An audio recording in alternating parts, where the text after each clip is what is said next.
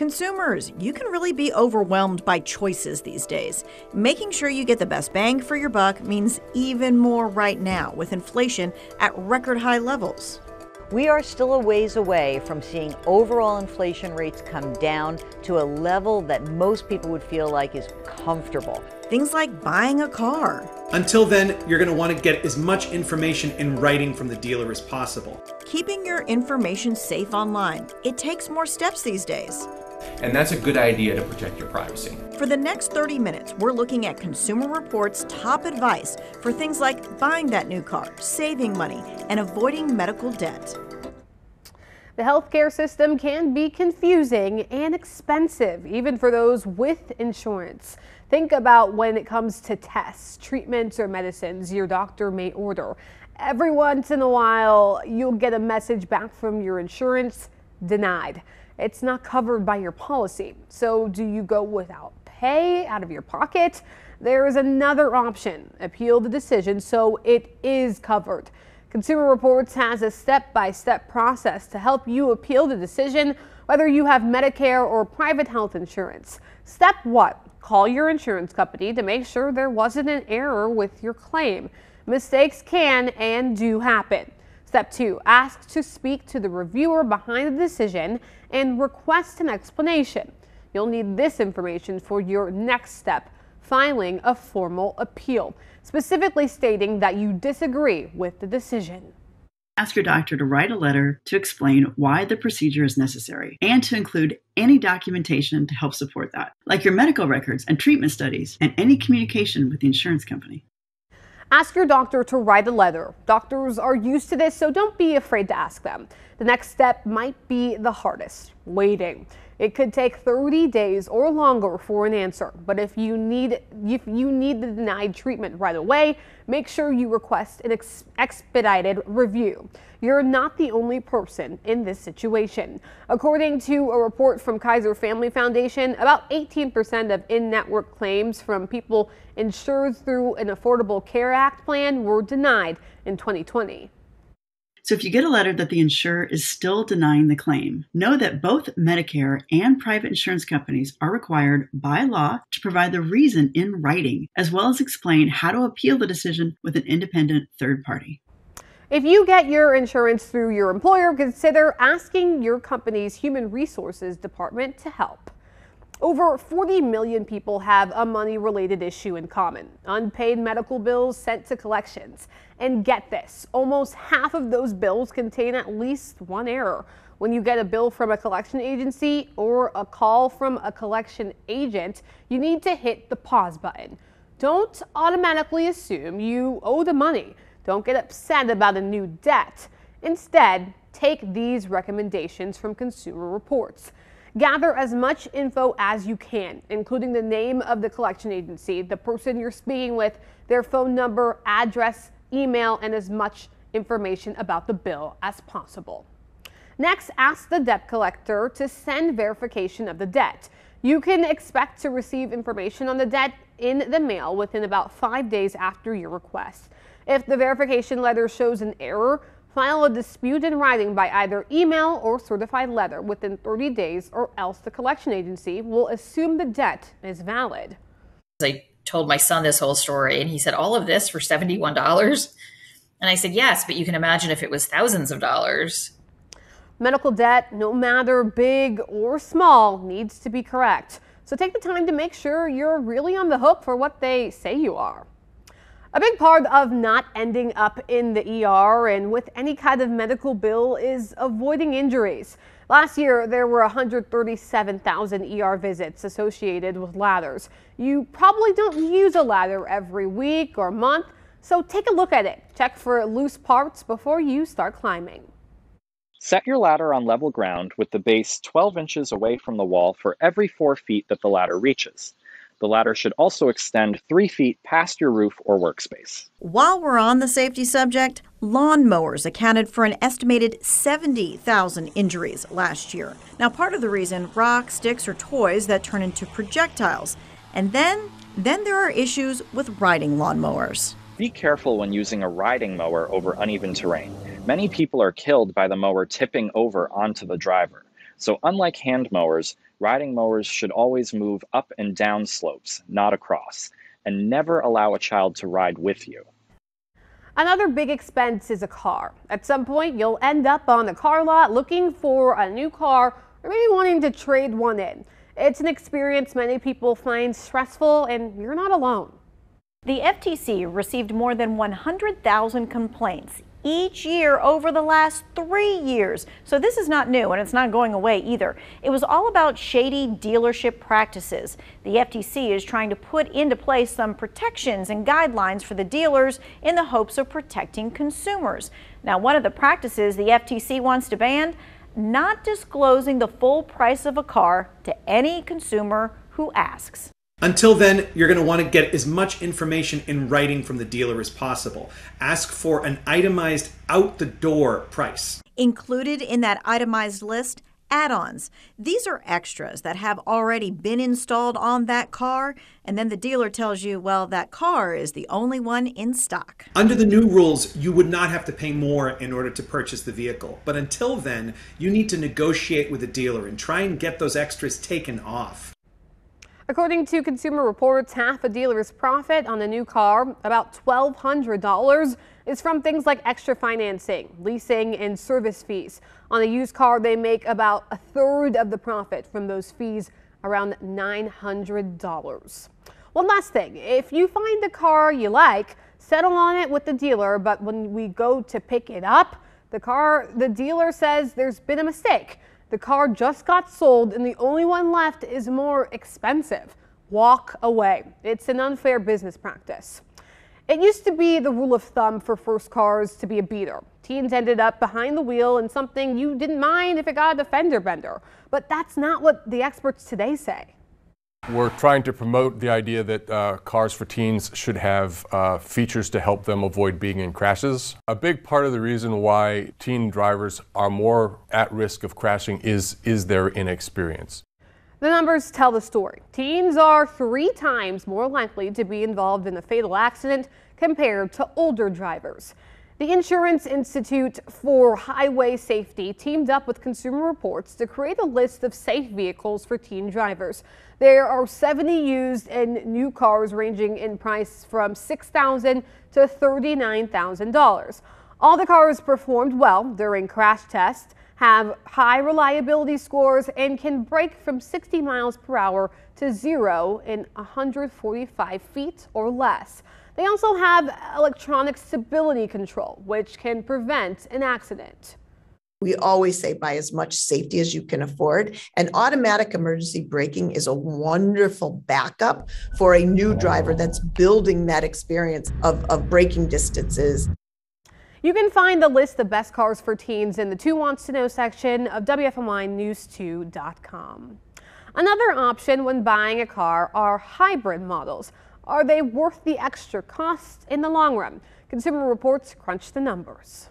We compared hybrid and non-hybrid versions of some popular vehicles and found that fuel savings could outweigh the upfront purchase price of some hybrid models. Consumer Reports did the math. They used a gas price of $4 a gallon, driving 12,000 miles a year.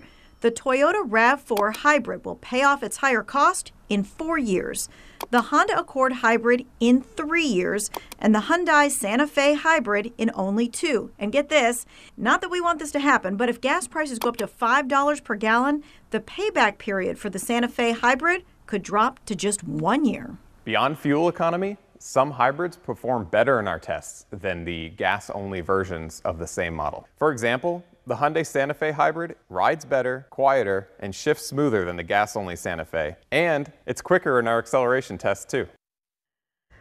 Still ahead, inflation is still hurting everyone's wallets. How to save money on your next road trip, flight, or water bill. Plus, whether it's TikTok, YouTube, or just your email, we all spend a lot of time using apps or websites. We'll tell you how to keep your kids and your personal information safe. Saving money is more important than ever right now. With inflation driving up prices of just about everything, going on vacation is always a big expense. So saving money when you're traveling is key. Consumer Reports looked into ways to make trips as cost saving as possible. First, don't leave gas stops to chance. This is when Gas Buddy, Gas Guru, and Waze really come in handy. Plan your gas stops by price along the way, and you may want to rethink how you pay for gas. While many gas stations will offer you a lower price if you pay in cash, a credit card with cashback rewards may actually be a better deal, especially if you're paying more for gas than you normally would in a month. So, what about when you're booking your flight? Oftentimes, it's not the price of the flight, but the extra fees making the final ticket price expensive. These days, many airlines make more money off of fees than they do over base airfares. For every trip, you need to decide what extras, if any, you're willing to pay for. If having a free carry on or checked bag is a big deal to you, consider using one airline all the time and get that airline's credit card. Most often, the perks include free checked bags as well as a priority seat selection and even boarding. My airfare search always starts with Google Flights. While it gives me a list of all the airlines, it also gives me what the price point usually is for each trip. And Consumer Reports says if you see a price you can live with, my advice is to book it. Well, how do you know do your laundry may not seem like an obvious way to save money, but the type of washer you use and the rent cycle can make a difference in your monthly water bill? Front load washers deliver when it comes to cleaning performance, and they use the least amount of water and energy. Consumer Report says using a high efficiency washer and dryer is one of the most impactful things you can do in terms of reducing your energy bills. But no matter what kind of machines you have, you can save money by using cold water and better laundry detergent. The top two detergents in CR's tests Tide Plus Ultra Stain Release and Persil Pro Clean Stain Fighter. Both can tackle tough stains in lower temperature water and can also be used as a pre treat stain remover.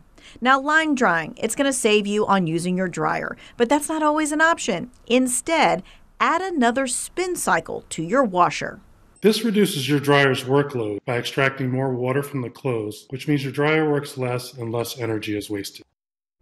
Saving on gift shopping or just everyday shopping can depend on where you buy things and if you can sign up for a service like Amazon Prime or Walmart Plus. Let's break down each to see where you can get the best deals. Two Wants to Know found a Consumer Reports comparison. Both companies, Amazon and Walmart, are vying for your business and they're rolling out deals. Walmart Plus costs a bit less, but they both offer free shipping, deals, and discounts for members, grocery delivery, and some streaming music and video perks. Walmart doesn't have a huge array of benefits that Amazon Prime does, but it has some good key deals that can really help regular Walmart shoppers. Here's where Walmart shines at the pump. You can save up to 10 cents a gallon at Exxon, Mobil, Walmart, and Murphy stations. Plus, you can get member gas prices at Sam's Club. When it comes to streaming, both offer added perks. A Walmart Plus membership gets you a free subscription to Paramount Plus and six months free of Spotify Premium, while Amazon Prime is going to give you Prime Video, Prime Music, and Prime Gaming. Additionally, Prime members get unlimited online photo storage, 5 gigs of video storage, and like they're thrown in the kitchen sink, recently Amazon Prime members are receiving access to a free year of Grubhub Plus, which includes unlimited deliveries from participating restaurants with no delivery fee. If you're still not sure, you can try a 30 day free trial on each service. So test it out for yourself and then decide. That was a gorgeous day today. We topped out at 63 degrees. Presently, we're at 57 right here in the Triad. Up in the mountain and foothill communities, there's some upper 40s, actually a little chilly. Uh, we'll push it up to the 60s though for the coastal sections. Not too bad. Heading into the night tonight, we're going with 44 for the overnight low. Look for clouds to go on the increase. I think some overnight rain even into tomorrow morning, so maybe even as early as 3 a.m. But we'll see that rain taper off by midday, a high of 58, and then clearing skies heading into the evening on Friday and probably the afternoon, to be honest. Saturday looks good too, but Sunday is going to be a rain, rainy day, but will warm up to about 62 degrees for your weekend. Complete forecast coming up.